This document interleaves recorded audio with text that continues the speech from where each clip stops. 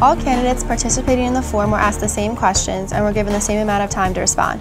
This video was filmed by QAC TV and the questions were selected by editor Angela Price from Reader Suggestions. I'm Nicole Romeo reporting for the Bay Times and Record Observer. I'm here with Bob Simmons, who is the incumbent District 2 Commissioner and a Republican. Thank you for joining us. Thank you for having this program. I think uh, I, I enjoy the opportunity to be here and to promote transparency as this is doing anytime we get our candidates out. It's good. You. In two minutes or less, tell us a little bit about yourself and why you'd like to continue being a commissioner. Uh, I'm one of these odd birds that, re that retired from North Carolina and moved up here 15 years ago.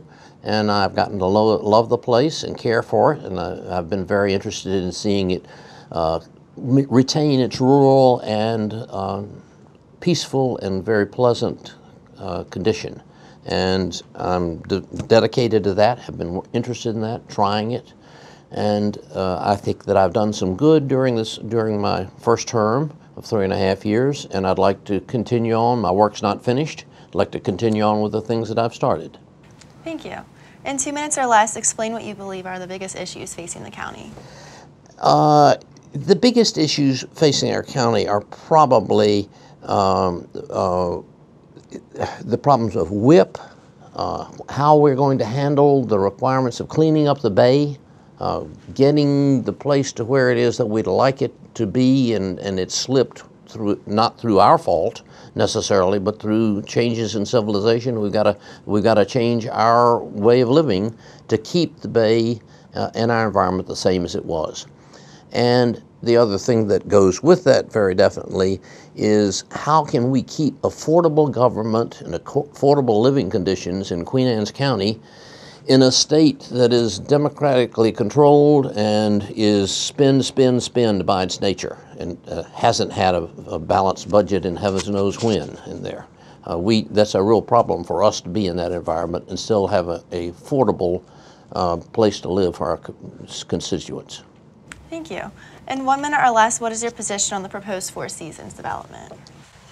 Uh, the uh, Four Seasons, in my opinion, is, is, a situation that is mainly out of our hands right now. It's in, in the hand of the, of the governor and the state uh, environmental committees and uh, different different parts of the state, and to the most part, it's out of our hands. But essentially, uh, my belief is that it, it's not an ideal program. It, it, that uh, uh, that our county commissioners some years ago made a terrible mistake by uh, signing a DRRA that uh, tied our hands.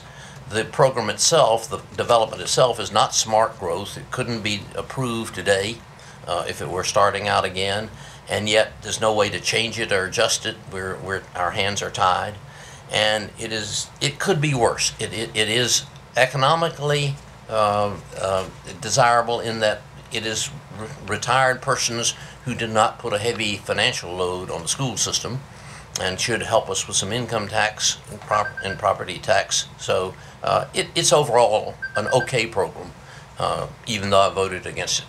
Thank you. In one minute or less, what is your position on the public sewer for Southern Kent Islands? Well, as perhaps you know, and I know a lot of the people in the county know, that I have been responsible for completely reworking the proposals about sewer down Southern Kent Island. I started out opposed to it uh, four years ago.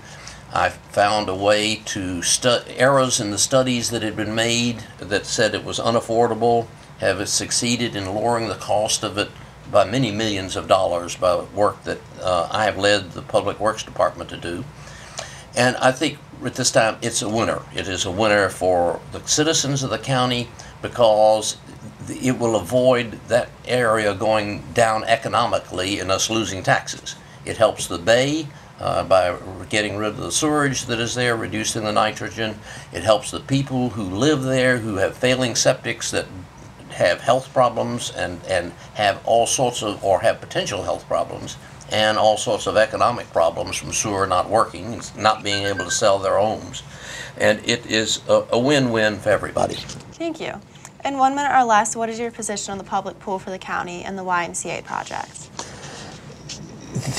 Uh, the, if we look at this right in there, uh, the Queen Anne's County needs a, a, public pool in there, a public facility where it can be used. It's it's it is yes, it is sort of one of the luxuries, but it's a luxury that that we can best provide. We have offered the opportunity to do this to private business, and they've not been able to get the funding to do it.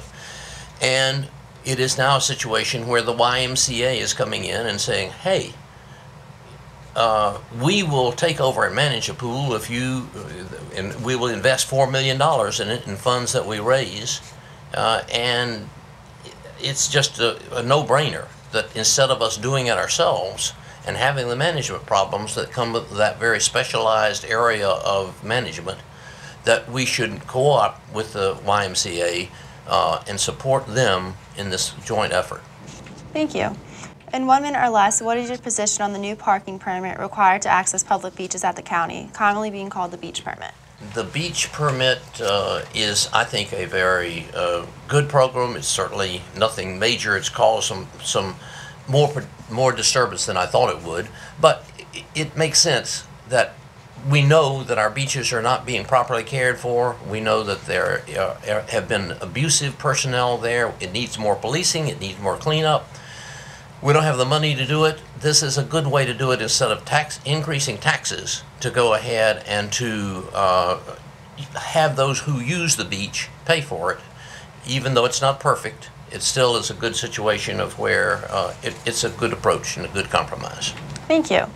In one minute or less, please describe your plan for achieving the county's stated goals of controlling growth while promoting economic development. Uh, the county right now has what I think is a good program for for that combination. It uh, is it needs time to work, and, and you can't be sure it's going to work. But it is a situation where we're concentrating on trying to develop uh, small businesses, encourage small businesses to grow that are already here. The chances of us being able to to attract a uh, a Mercedes factory or something major to come here, any major uh, development is not likely. We need to grow on our strengths, which is a great place to live. And and if we put get entrepreneurs here who will build small builds, businesses. We, we will have, we already have the great people. We get more of them, more of them to live. We do need to, the state has helped us on controlling the population growth by uh, their legislation that, that protects our farmland more than it was. And it is concentrating our growth in our already developed areas, and I think we're on a good uh, long range program for the future. Thank you. Finally, in one minute or less, would you like to revisit any of the issues we discussed or add anything that we missed talking about? Sort of. Uh, one thing that I'd like to talk about in here is that that uh, that every issue we had has we've talked about has to do with county government and the quality of there. And I'd like to say to these people, I have our constituents. I have experience in, in other parts of the states and other parts of the country, and I have to say we have an exceptionally good county government. We have uh, an, an admirable uh, administrator and director, and he his spirit uh, and openness and, and willingness to serve has has been passed on to the people who work for him. We get a lot for our dollars. We're the uh, fourth uh, from the bottom. Uh, only three are lower in tax rate than we are in the state.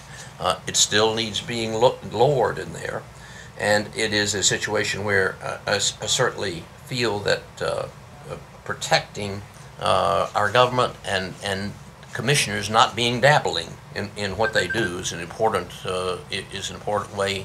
Strengthen them. Don't try to get in and second guess them. Thank you, and thank you for participating in our forum. Thank you. Glad to have the opportunity. To watch other candidates who have appeared in the series, please go to either the QAC TV YouTube channel or visit myeasternshoremd.com. Thank you for watching.